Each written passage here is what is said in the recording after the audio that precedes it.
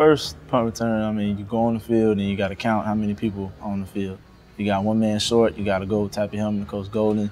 You know, you got to get somebody out there. If you got too many people, you got to throw them off the field.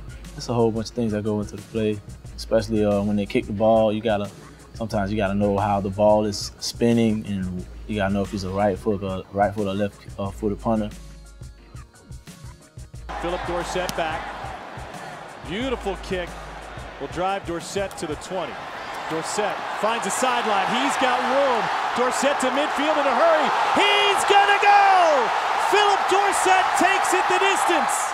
My ball catching technique, I work on it in practice a lot. Just, you got to first you got to have your foot staggered and um, just look the ball in every time. You got to keep your elbows in because if the elbows out, the ball slips right through your hand. During the snap, tend to look at how long it takes the kicker to kick the ball. If he's pretty fast, I mean, I know that okay, I'm not going to fair catch this. I'm going to be able to return this one. And then you got to know the, their coverage unit. They get down fast. Uh, sometimes you got to fair catch it.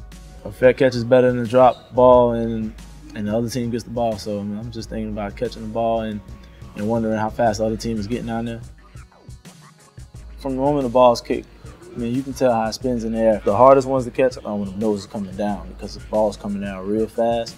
And if you don't get your elbows tight, it's gonna it's gonna come straight through. So the knuckleballs, those are kind of hard too because they're short and you got to run up to them, and sometimes you got to catch those like kick return. I mean, when I catch the ball, I think about just getting north and south. Sometimes you just got to get 10 yards, just try to flip the field position sometimes. I mean, and sometimes you'll know it's a big play coming, because the, coverage unit didn't get down fast enough and everybody has their man. So it varies some different, different times and sometimes you just got to make something happen on your own.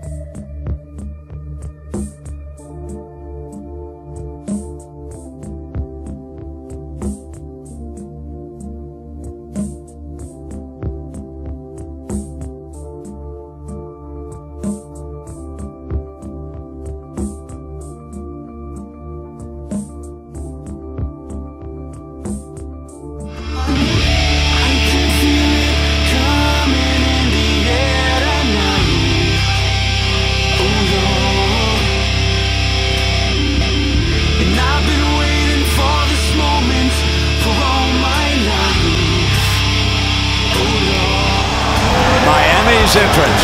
You've seen it before, and it never grows old.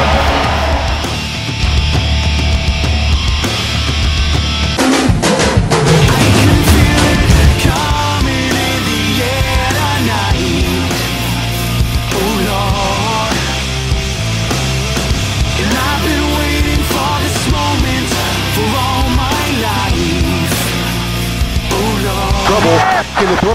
Got a receiver coming back. He doesn't see him. Instead, throws it deep down the field for Dorsett. He's got!